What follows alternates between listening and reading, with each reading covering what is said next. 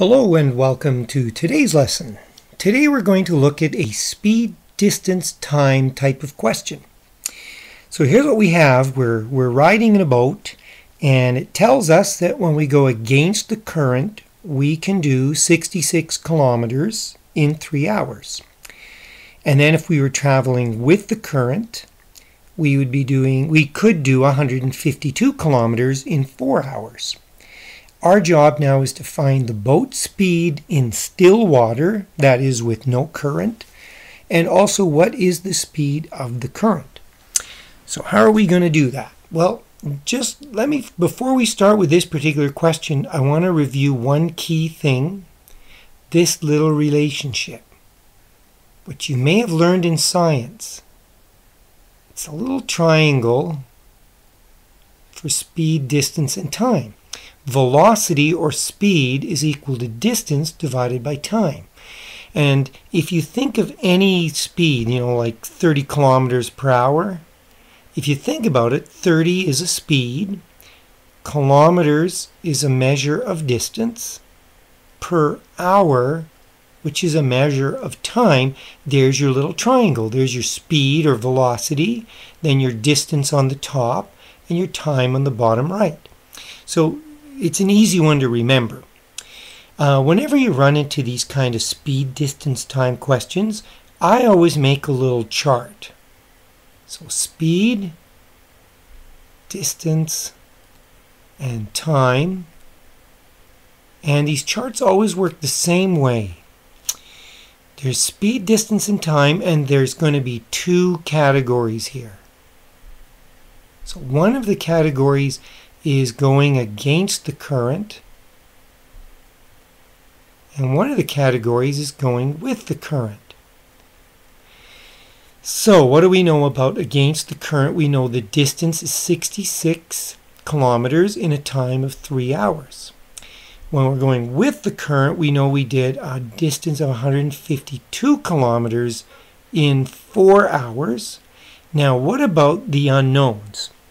Well, if you're going against the current, we're going to take the boat speed as x.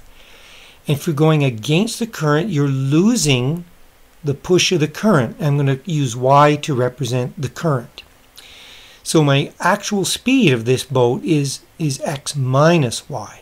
But when I turn around, I'm going with the current, my speed of the boat plus the current. So it's increasing the speed because you're going quite a bit faster. So now I've got all of the variables and the information in my little table.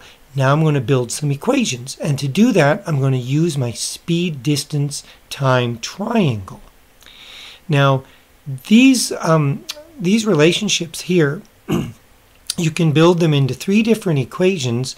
The one I recommend doesn't involve fractions. So it's the one that has distance equal to velocity or speed times time.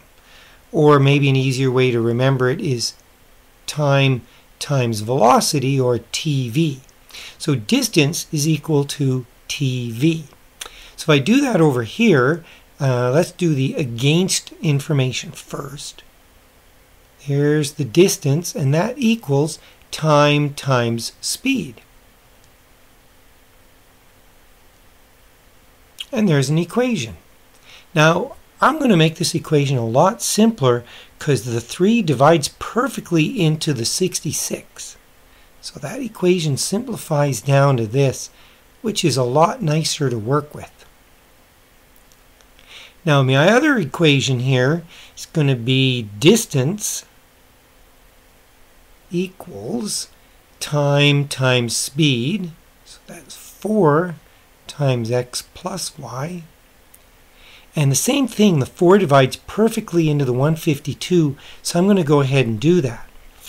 Uh, let's see, I think it goes in there 338 times. And there's the rest of it, the x plus y.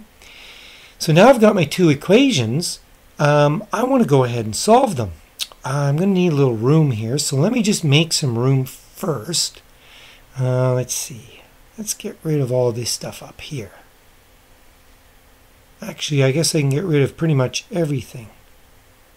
let's get rid of that and um, carry on. So here's my, my system and it looks like this. I've got 22 equals x minus y and then I've got 38 equals x plus y. Well, this is made for elimination because the y's are ready to just cancel right out. So I got two x's is equal to 60. Then I divide by the 2, and so x equals 30. Now x was the speed of the boat in still water. So here's the boat speed. It travels at 30 kilometers per hour if we had no current whatsoever. And well, how do we get the current? Well, pick one of your equations, doesn't matter which one. I'm going to use the second one here. x plus y has to make 38. So it's pretty easy for me to get uh, that y has to be 8. So that's the current. 8 kilometers per hour. And just like that, I have answered the question of the boat speed and the current, and I am done for now. We'll catch you later.